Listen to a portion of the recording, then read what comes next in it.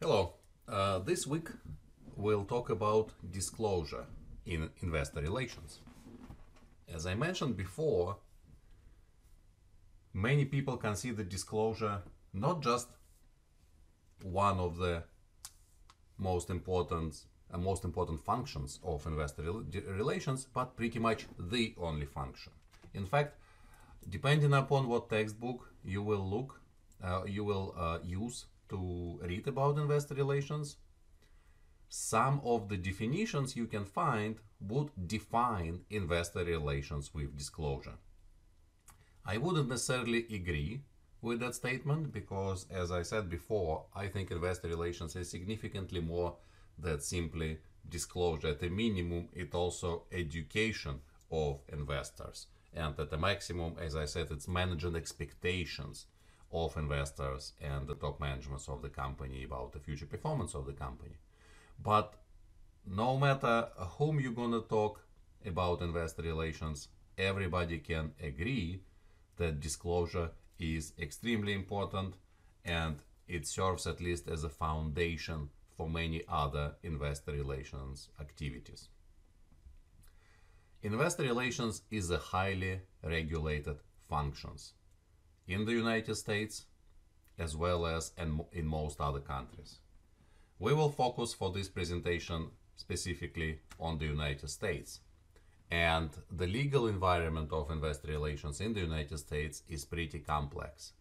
We're just going to talk about five major uh, uh, pieces of legislation that influence significantly and shape significantly the practice of investor relations, but of course, there is more. The first one, Securities Act, Securities Act of 1933, as I mentioned in the presentation on history of investor relations, I believe so this was the transition, the introduction of the Securities Act of 1933, sorry, and Securities Exchange Act of uh, 1934 meant the transition from pre-professional period of investor relations to professional period of investor relations. Both of these regulations brought professionalism to investor relations. And so the first one, Securities Act of 1933, again, as I mentioned in the presentation of history, was a response to a variety of um, fraud in the um, uh, in in the in the financial market. A lot of the stock, a lot of the companies that were offering stock to people were absolutely fake. Then they non-existent. Again, the California distant uh, gold fields or Texas oil fields that in reality did not exist. The people simply pretended like the company exists and it will give huge profits in the in the future. They collected the money and they disappeared.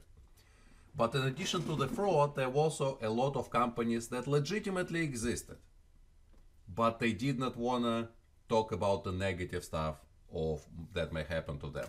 The negative stuff of their performance. So a lot of the communications to the investors and to the outside world from those companies was all the positive uh, uh, things the, all the negative information was hidden. All the positive was put out there. And so many many times even if it wasn't a fraudulent company investors were simply losing their money because they were they did not have accurate information when the company uh, was going public and was offering its shares for sale. And so Securities Act of 1933 introduced specific guidelines about how a company can go public and what kind of information it should disclose to the people who consider buying it, buying its shares. So it introduced the requirement for creating a document called prospectus, which is the information very detailed, very specific information about the company that the company must make public before anybody can buy its shares. And this requirement still exists today. So when a company goes public, like Facebook or Google, when they went public, they had to release the prospectus, uh, uh, legally called S1 form, and disclose all the positive, all the negative, all the market risks, all potential threats that the company might face to the investors so they can make a educated decision about whether they should buy the company or whether they shouldn't buy the company and what is the potential risk of doing that. So then the next one that came out a year later was Securities Exchange Act, and this one specifically focused on the secondary market of securities. If the 1933 Act focused on the initial offer of securities when the company is just going public, 1934 focused on the secondary market of securities where people already trade in stock on stock exchanges between each other. It's not incorrect to assume that there was nothing between 1934 and Regulation FD that come out in 2000. There were a lot of changes, a lot of regulations. In fact, Securities Act of 1933 and Securities Exchange Act of 1934 are updated a lot, and there are additions and amendments and so on and so forth. Um, but again, this is not necessarily um, possible to describe every single piece of legislation in, in this presentation. So I'm going to skip to Regulation FD. And Regulation FD, sometimes called Reg-FD, stands for Regulation Fair Disclosure. The focus of this regulation was on providing access to all investors to important information about the company.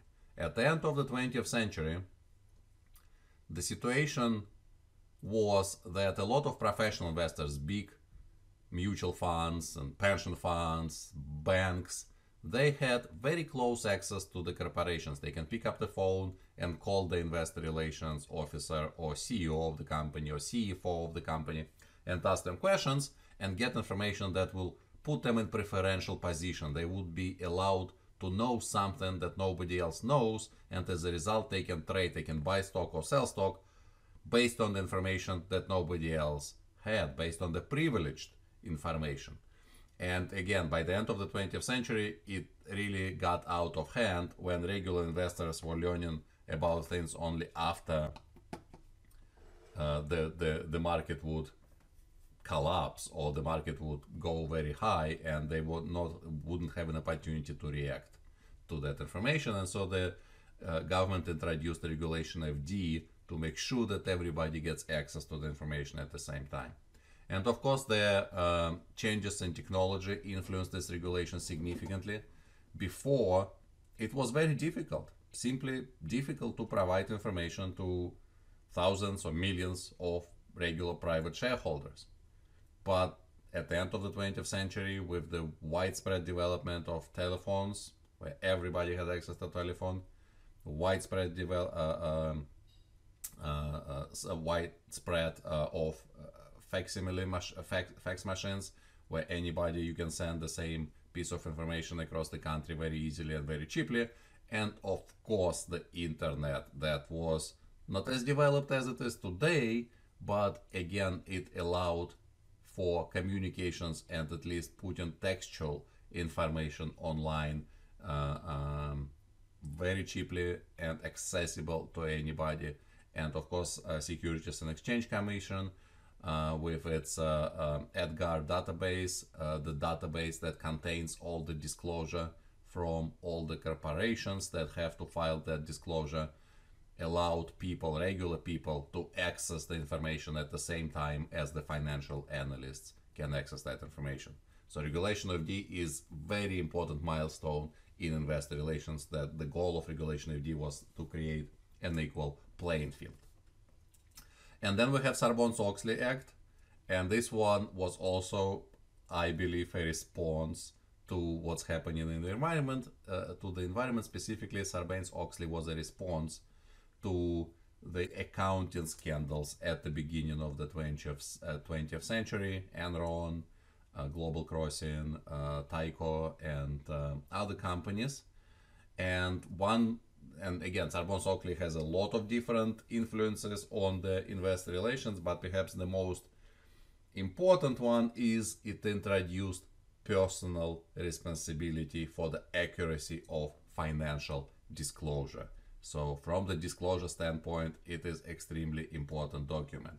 Now, CEO of the company, CFO of the company, and IRO of the company must sign and guarantee personally that the information they are disclosing to shareholders is accurate. And that introduction of personal responsibility, I think, is extremely important, especially in the post in uh, uh, Enron uh, era of investor relations.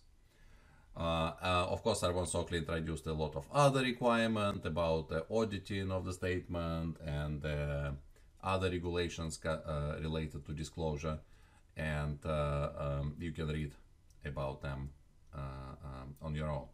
And then the, the, the the final one I want to talk about is the Dodd Frank Act, and this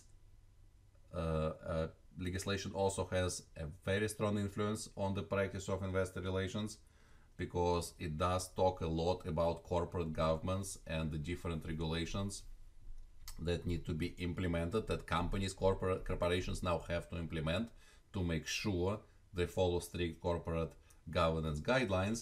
And one of the earliest pieces that went into effect from the Dodd-Frank Act was the um, votes on compensation and disclosure of compensation. And this was a very big point for many companies because they now have report how much money the CEO is making versus the lowest paying the lowest paid employee of the company. And that brings that inequality so much in focus not just for investors because this is again publicly available information. Every employee of the company can see um, how much the CEO is making and how much the uh, average employee is making and the lowest paid employee is making and you know the companies that um, perhaps uh, are not reflected very well in this indicator may suffer not just uh, problems with investors but they may have issues with the morale of their employees. And the uh, um, uh, the annual shareholder meetings now include a vote on executive compensation which again makes it even more challenging now with all that disclosure on the compensation that is now required by the Dodd Frank Act. So these are some of the pieces of the financial disclosure that uh, of financial uh, regulation that guides the disclosure and guides the investor relations profession. And so, what uh, uh do we disclose? What are those pieces of disclosure that we need to know? The first one is 10K. This is a form that is filed again with the Securities and Exchange Commission. Maybe many companies publish it on their website as well. But Security and Exchange Commission, after they receive it, that make they make it publicly available from the EDGAR uh, database, um, uh, exchange, uh, uh, uh, data gathering and retrieval uh, database. And um, 10K, simply speaking, is an annual report. It's a periodic form. You have to file it every year and in this 10K form, the companies disclose information on their activities over the last year, including the statement from the top management of the company where they describe what went well, what did not go well, and what they think is going to happen in the future. 10Q, you can probably guess, the same as 10K, only quarterly report. So this is uh, uh, this has been filed once every three months, once every quarter and very similar to 10K. And again, you can find it in the EDGAR database and you can find it on many company um, websites as well. 8K is a non-periodic form. So this is a form that uh, um, that requires companies, and remember regulation fair disclosure, uh, you have to disclose information equally to everybody. So for example, if a company has a private meeting with some investors and the CEO of the company accidentally says something that is not public information, it now becomes selective disclosure because the CEO mentioned it to only one investor or two investors or five investors. It needs to become public immediately, and so then organization will file 8K form as soon as possible to make that information public and not to be in violation of regulation fair disclosure. There are obviously a lot of other functions. Anytime there is some kind of material information, something important that happens with the company, the company can file the Form 8K with the Securities and Exchange Commission, and by doing so, the company makes that information public. P&L is a profit and loss statement. Uh, this is the statement that company reports in its 10K and 10Q that talks about profits and losses the company had uh, over the year. Edgar as I said, is a database where all this information can be found. And right now you can go to Google, uh, you can type EDGAR, the Electronic Data Gathering and Retrieval Database, uh, uh, you, you will get to the uh, homepage of Edgar on the SEC servers. You type the name of the company and you get all the information the same way as any other investors, even if it's a financial analyst from Wall Street or a teacher in uh, Iowa. Everybody has the same equal access to information from Edgar. Market cap is a measure of the size of the company.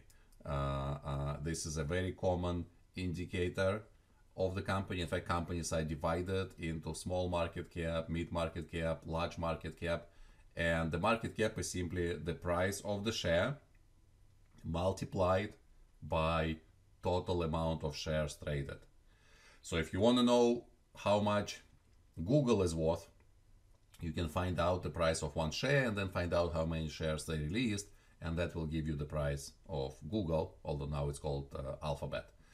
And for the first time in recent years, we had several companies that went over 1 billion. Oh, wait, I'm sorry. A billion, trillion dollar. So uh, for the for the first time recently, there were several U.S. companies that crossed over one trillion dollar market capitalization, and of course you can guess that these were uh, Apple, Amazon, Alphabet, which is Google, and Microsoft. Uh, so the the first trillion dollar market company. So if somebody would want to buy, let's say, the whole company, they would need to buy all the shares of the company, and they would have to pay more than one trillion dollars for these companies. Uh, globally, there are also a couple of oil companies that uh, had their market cap go over one trillion dollars. The Chinese oil company and then Saudi Arabia oil company. Of course, this can change because the uh, market, the, the price of share of shares can change on a daily basis. The prices of share can go up or down, and uh, uh, some of these uh, trillion dollar companies that went over trillion dollar mark that they went under trillion dollar mark then they went back up over one trillion dollar mark so depending upon when you're listening to this there might be more or less trillion dollar companies in the world uh, companies are divided into private and public companies. So the public company, as again I said in the previous lecture, is the company where shares are available for the public. Anybody can buy the shares of the company. We can go buy shares of Apple. We can go buy shares of Amazon right now if we wanted to. And because they are public companies, they have to have these disclosure requirements. Many of the disclosure requirements we discussed before do not apply to private companies. They apply only to public companies. There are exceptions, but we're not going to talk about them for now. And private company, then it can be also shareholders company that might consist of shareholders, but it's not available to the public. Not anybody can go and buy those shares. But private companies may be something else. They may not be shareholders company. They may be single owner company. Only one person may own them. Private company maybe may have other legal forms to operate. And again, depending on the in, in many cases, the private companies do not have those disclosure requirements, and many of them, as a result, don't have investor relations officers. Uh, a proxy statement is a document that public companies have to produce once a year, and the proxy statement is produced for the annual shareholder meeting. All public companies have to have a meeting with their shareholders once a year. It can be in person or it can be virtual.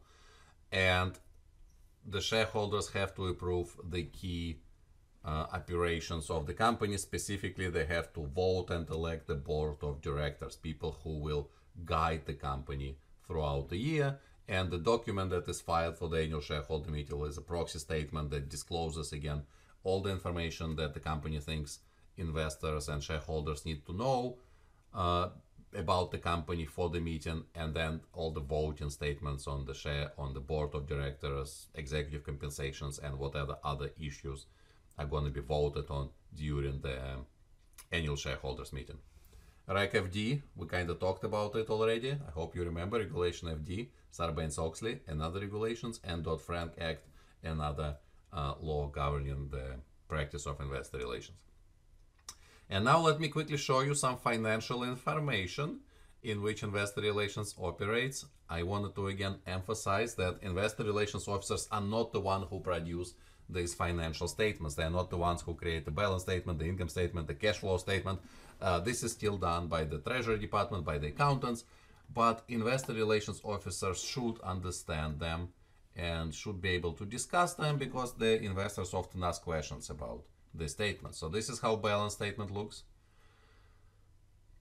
Uh, the reason it's called balance statement that if you look on the left column and at the right column, the very final number in both of them are the same. The statement must be in balance.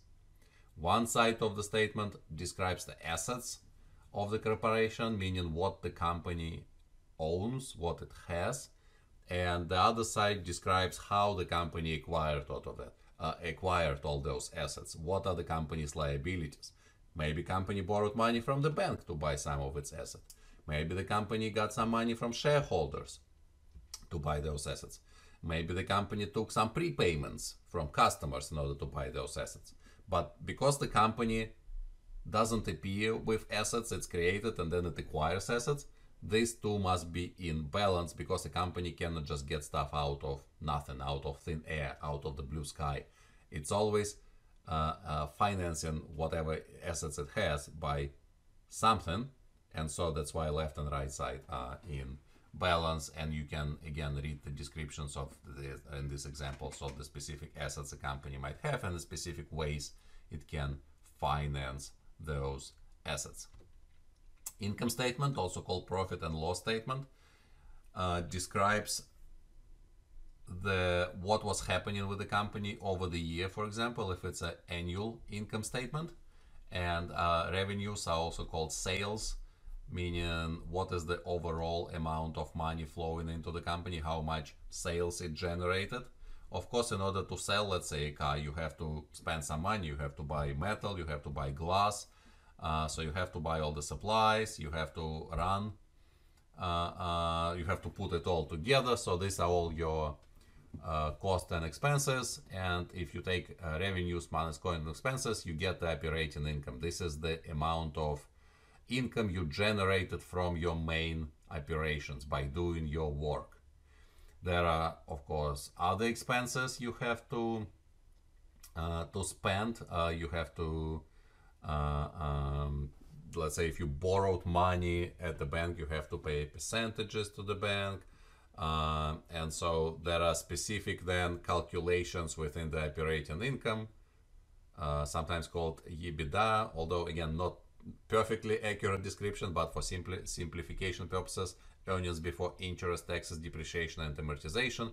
Then it goes earnings before interest and taxes, uh, EBIT. Then it's earnings before interest after you pay uh, uh, taxes, and then it's um, after you uh, sub- subtract all the expenses you had to pay on top of your operating expenses, you end up with net income. This is how much money your your net profit, how much money you generated after you paid all the expenses, all the salaries, all the electricity bills, uh, all the rent and utilities, whatever else you had to pay, taxes to the government. Um, this is whatever is left. This is your net profit and it, um, so it is common then to divide that net income by the number of shares the company has and get earning per share EPS, a very common measure, and that allows you to compare different companies between each other. You can see, well, this company has one dollar earnings per share, while this company has ten dollars earnings per share. So it seems like this company generates more money, generates more profit than the other company. And then finally, the cash flow statement. That's another statement that is very commonly discussed uh, with the investors. It is also describes the activity over time. So in this particular case, over a year, if it's in 10K, or over a quarter, if it's in 10Q. But uh, what's different uh, about cash flow statement that it focuses on the actual cash. For example, if a company um, enters an agreement with a if a company enters an agreement with a customer to build let's say a car over five years the customer for one million dollars let's say the customer may pay half of that now but another half in five years after the uh, the car is completed So in the income statement, you would record a whole million because your contract is for one million. But in the cash flow statement, you record uh, you you will record only half a million because you only got half a million dollars for now.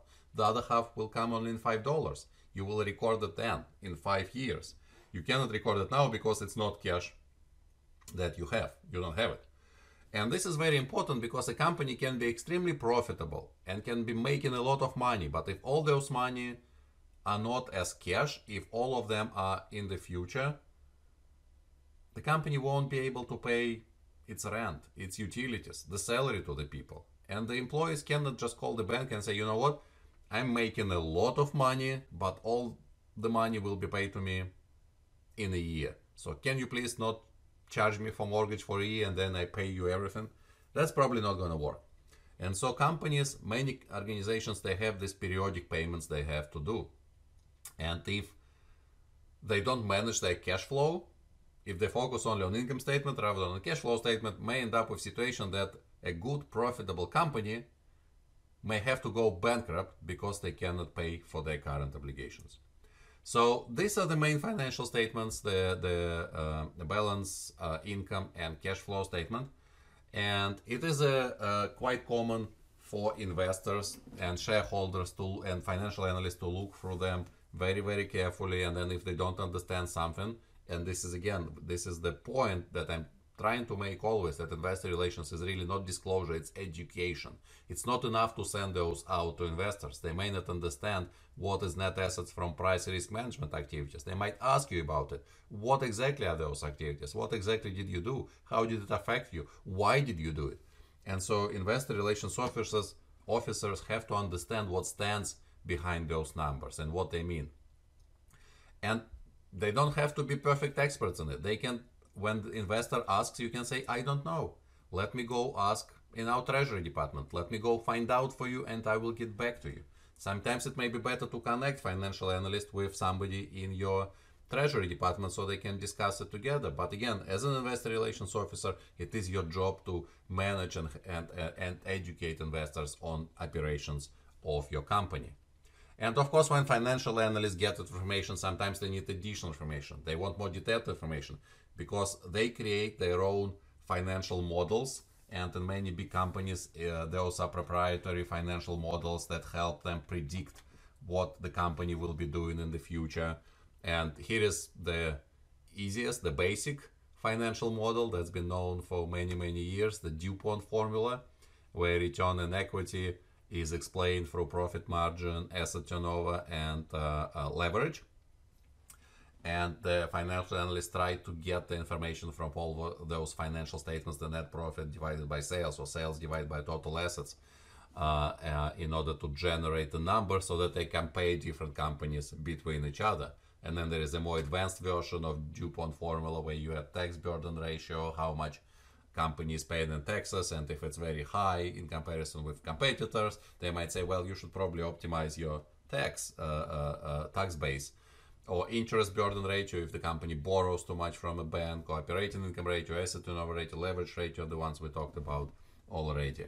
So all of this is how financial analysts approach the company and they need additional information. They they they ask for that additional information. But again as an investor relations officer you are not required to be able to do all these calculations yourself. You have people to help you with that and your your job is to educate investors on your company and help them find information help them find the information you need and in my years as an investor in, in the investor relations it is common to talk about these things but a lot of the times in fact almost every time the conversation eventually turns to something non-financial. So what do, how are you gonna approach this uh, or what you're thinking about sales in this particular area?